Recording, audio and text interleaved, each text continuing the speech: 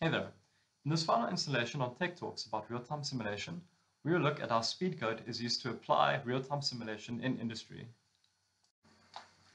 SpeedGoat provides target machines that are capable of real-time simulations for RCP and HIL, meaning that these machines can act as both a virtual plant or virtual controller.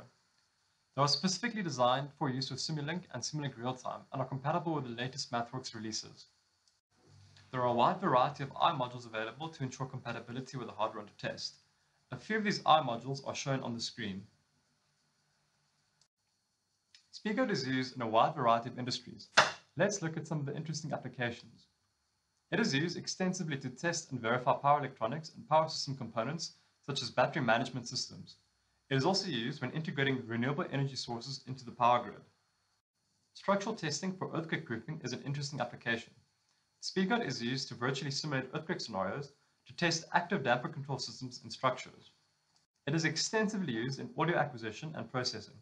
Oftentimes, just acquiring signals isn't sufficient. Highly controlled manipulations must be done with the use of SpeedGoat, for example, in hearing aids or noise-cancelling headphones. Now I'll be looking at two user stories.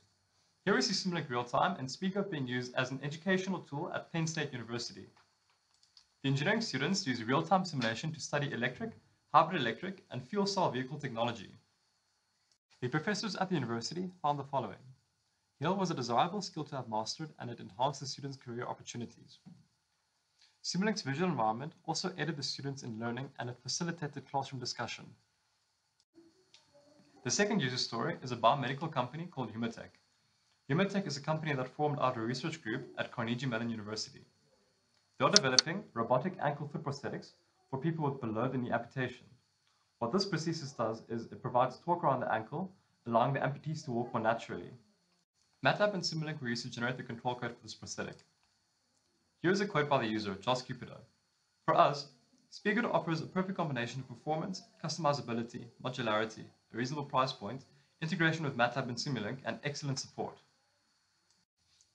If this video series has sparked your interest in real-time simulation, feel free to contact us.